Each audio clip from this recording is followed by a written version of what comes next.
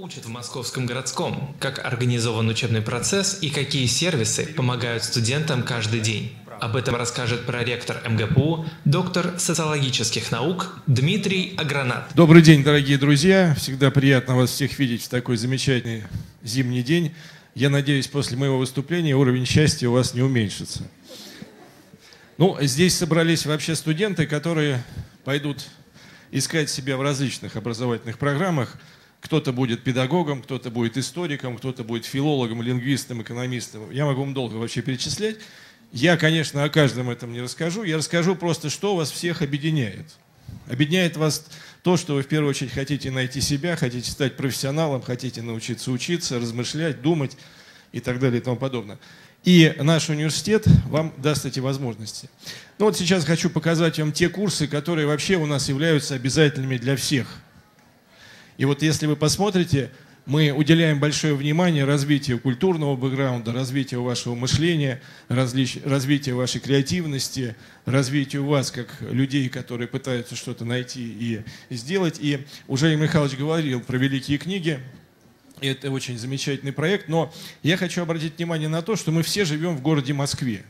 И Москва обладает уникальными вообще возможностями. И когда мы, москвичи, не ходим и не видим вот этот огромный культурный э, слой нашего города, то это, конечно, очень нас огорчает. И несколько лет назад мы решили студентам дать возможность посетить наши музеи, парки, выставки, театры. И у нас возникла такая социокультурная практика. Мы собрали вокруг этого проекта наших преподавателей, которые увлекаются тем или иным э, искусством, и сказали, давайте вот будем давать учебные задания нашим студентам, которые будут их выполнять на примере э, в этих условиях.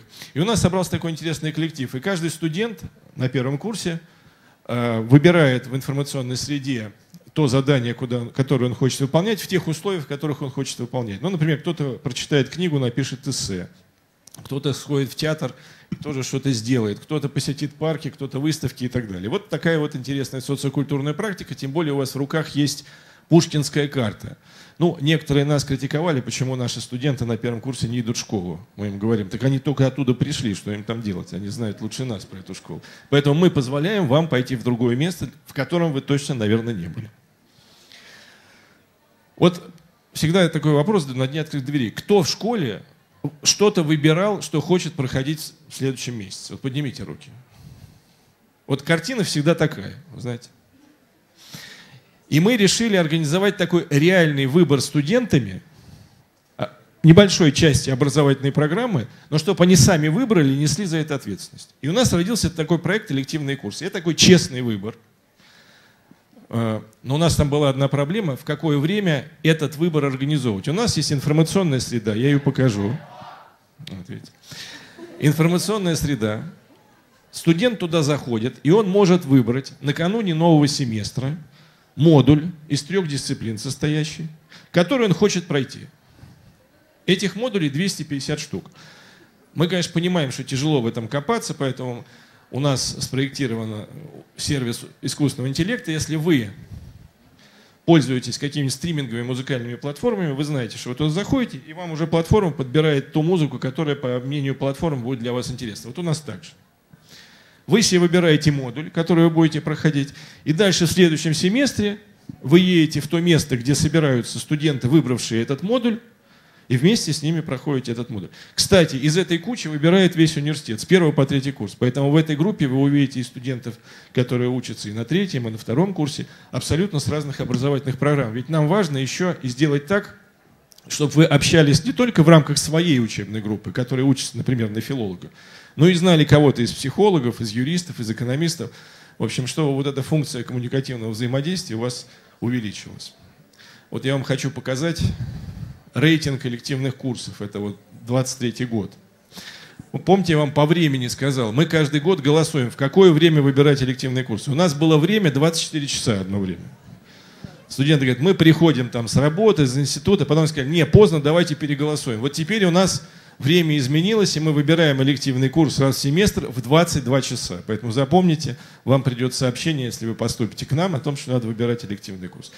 Это настоящий выбор, вам никто не мешает. У нас в этом отношении нету тьюторов абсолютно. Сами заходите и выбирайте. И студенты иногда спрашивают, а можно я, вот я выбрал курс, можно я, так сказать, другой курс выберу? Мне он не понравился, который я выбрал. А мы говорим, нельзя. Он говорит, почему? Потому что любая свобода порождает ответственность за то, что ты делаешь. Вот ее неси.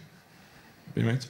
И мы еще в этом случае учим студентов неким азам управления. Мы даем возможность им принять решение чуть-чуть, да, и чтобы они несли за это ответственность. Но в следующий раз они, конечно, значит, начинают уже сознательно выбирать. У нас, кстати, практически все студенты со временем выбирают, потому что есть студенты, которые не выбирают курс, говорят, мы не будем это делать.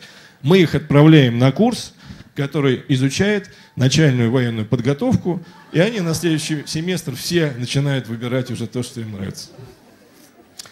Помимо всего прочего, вот вы э, будете ходить по аудиториям, вы можете посмотреть, у нас есть такие образовательные программы, придя на которые вы будете первый год учиться общим, например, педагогическим навыкам, а потом после первого курса или после второго курса вам придется выбрать тот набор профилей, который вам интересен. То есть это такая же модель, но уже в рамках образовательной программы. У нас не все такие образовательные программы, у нас есть определенная часть для таких ищущих студентов, и которые в период поступления еще не могли определиться с собой, поэтому они идут на эту программу в течение двух лет, они думают, что же им делать, и после второго курса, в том числе благодаря консультациям наших преподавателей, они делают такой выбор. Мы большое внимание уделяем занятию спортом. Знаете, вот мы боремся с физкультурой, как строевая подготовка. Знаете, первый, второй, первый, второй, все, вся физкультура. Физкультура сегодня и вообще спорт – это очень высокотехнологичная сфера деятельности человека. И мы несколько лет назад тоже на, этим, на этом задумывались, поэтому вы, опять же, в своем личном кабинете сможете выбрать ту секцию, которой вам интересно заниматься, и в установленное время поехать и позаниматься в этой секции. У нас, кстати, повысилась посещаемость на самом деле физкультуры, мы очень рады этому. Конечно, информационная среда, она занимает в нашей жизни все больше и больше времени. Вы знаете, вот у меня дочка, которая также учится в университете, я наблюдаю, как она там учится, она, например, в какой-то момент перестала ходить на лекции. Она говорит, зачем я хожу на лекции, когда я могу это все увидеть в интернете, достать книжку, по Москве два часа ехать и так далее. И мы в этом году такое приняли решение, что мы резко сократим количество аудиторных лекций, мы их запишем с нашими преподавателями и выложим специальную информационную среду, чтобы студент мог готовиться к практическим занятиям в нормальном режиме, чтобы не надо было, чтобы вот послушать того же самого преподавателя и ехать там через всю Москву. Помимо всего прочего, электронные лекции дают другие возможности. Например, у нас записываются сейчас курсы которые будут читать 10-12 человек. То есть этот преподаватель очень хорошо знает эту тему, он ей увлекается, этот другую, и это делает курс более интересным. Помимо всего прочего, мы запишем несколько курсов с разными преподавателями, и люди смогут послушать именно того преподавателя, который им более ложится на его сознание, мировоззрение и так далее. В общем, информационная среда всегда дает огромные и огромные возможности. Вот пример наших лекций, как они записываются. У нас есть все возможности для этого.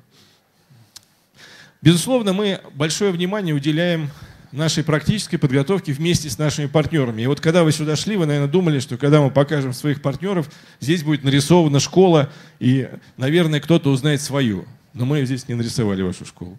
Вы можете посмотреть, что, конечно, Департамент образования и науки – это наш партнер, который предоставляет доступ во все школы города Москвы. Безусловно, мы с ними сотрудничаем. Но у нас есть, например, Московский зоопарк. Что же мы с ним делаем? Вы были в Московском зоопарке? Нет, там, где мы были, вы не были точно. Мы его видели с тылу, знаете, там, где ходят сотрудники. Вот, например, что делаем мы в Московском зоопарке? Во-первых, учителя биологии туда ходят. Что самое интересное, учителя литературы. Знаете почему? Там оказывается, вот Виктор Васильевич здесь сидит, директор нашего института, который учит этих специалистов. Оказывается, там работает какой-то человек, который пишет замечательные детские стихи про животных. Вот понимаете, вот вы сможете сходить в Московский зоопарк. Естественно, что у нас есть наш крупный партнер Курчатский институт, там, где было организовано первое исследование в области ядерной энергетики. Это уникальное научное подразделение. Там мы готовим наших учителей, в том числе математики, будущих учителей физики, мы готовим учителей для курчатских классов и так далее. В общем, я могу много здесь рассказывать, и э, с каждым из них, этих крупных партнеров индустриальных, мы работаем. Естественно, что мы обязательно отрабатываем практические навыки педагогов, и вот Московская электронная школа – это то, чему мы будем учить наших педагогов и учим, потому что мы знаем, что если учитель приходит в современную школу, он должен работать с современными информационными ресурсами, и мы тоже формируем эти навыки для того, чтобы вы были конкурентоспособны на рынке труда.